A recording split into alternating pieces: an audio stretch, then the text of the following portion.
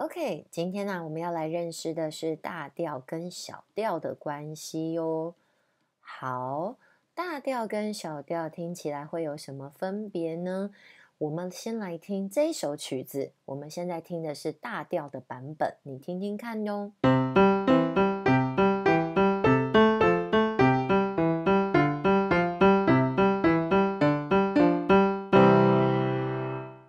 那接下来呀。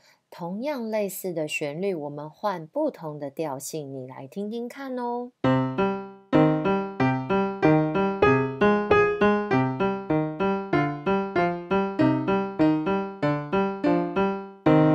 OK，你有什么样的感觉啊？虽然呢都是小星星，但是感觉很不一样吧？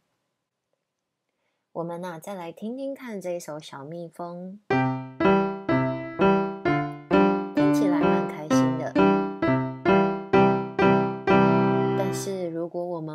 成小调呢？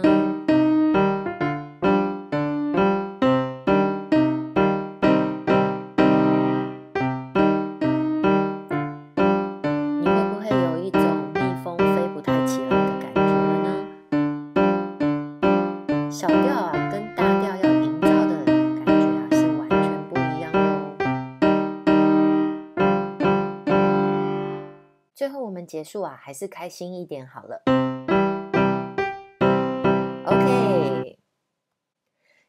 你已经用耳朵来听听看大调跟小调的分别了。那如果我们要用一些形容词来形容的话呢，会有一些人觉得大调听起来比较快乐，比较比较明亮。那小调呢，有一些人听起来会觉得比较忧伤啊，比较阴暗一点。那不管这些形容词是什么。你自己听起来呢？你对大调跟小调有什么不一样的感觉呢？那其实我们今天呢，只有要对大调、小调啊做一个最简单、最初阶的一个认识。那大调跟小调呢，它们有两个不同的分类，一个叫做关系大小调，那另外一个呢，就叫做平行大小调。好。那关系大小调跟平行大小调怎么区分呢？我们先来看平行大小调好了。平行大小调呢，既然是平行啊，就代表它们起音是一样的，那也就是说它们的主音是相同的。好，主音相同，所以呢，你就知道 C 大调它的平行小调那就是 C 小调喽。G 大调呢，它的平行小调那当然就是 G 小调。那同理喽，F 大调的平行小调呢，没有错，它就是 F 小调。好，那关系大调呢比较特别一点哦。关系大小调呢，它们是有小三度的关系。那所以呢，它就是大调往下数小三度。所以呢，C 大调往下数哆西拉就是 A 小调。好，那如果 G 大调的关系小调呢？它就是 G 一 G F 一，对，它就是 E 小调。然后呢，F 大调呢，它往下数就是 D 小调。好，所以啊，如果是关系大小调的话呢，他们会有一个很重要的重点，就是他们的调性会相同。调性相同啊，代表它有好几个音是同时都是一样的音哦。好，这个是关于大调跟小调最概略的一个区隔。接下来啊，我们知道小调之后啊，那其实啊，小调音阶啊，它自己也有分成三类哦。那第一类呢，它就叫做自然小音阶，自然小音阶。好。第二类啊，它就是叫做和声小音阶。和声小音阶，那通常我们一般听到的小调的曲子啊，也比较多都是用和声小音阶在进行的。好，接下来呢，第三类叫做曲调小音阶。曲调小音阶，那也有一些人会把它叫做旋律小音阶。好，那它要怎么区隔呢？还记得我们刚刚所谓的关系大小调的？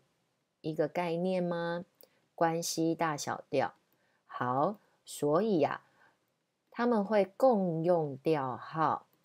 共用调号的意思呢，就是其实呢，他们的音小调的音会跟它的关系大调的音有一些音是重叠，是一样的。那所以呢，关于自然小音阶的话呢，它就不需要加上任何的升降，它不需要任何的升降哦。就是你原来的调号升了哪些音，降了哪些音，那自然小音阶也是一样，它不用再外加。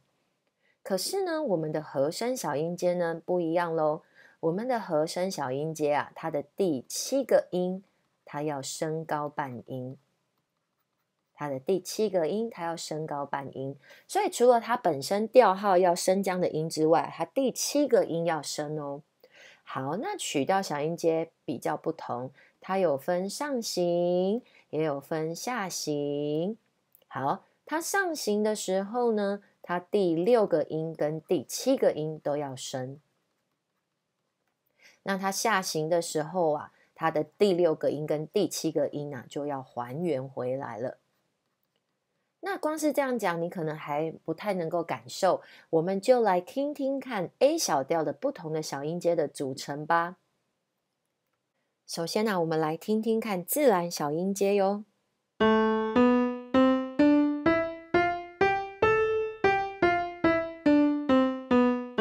着原来的调性，没有任何的升降，这就是自然小音阶。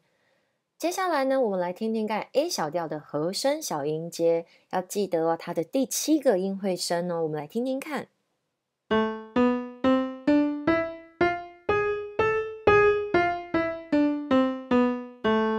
有发现第七个音升高了，对不对？好，最后一个啊，我们来听听看曲调小音阶。注意听哦，它的上行啊，跟它的下行是不一样的。好，我们来听听看哦。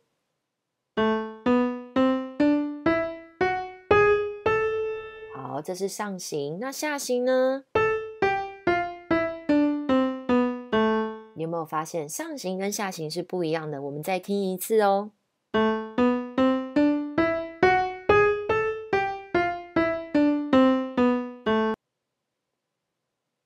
好，这个啊就是关于 A 小调的三种不同的小音阶。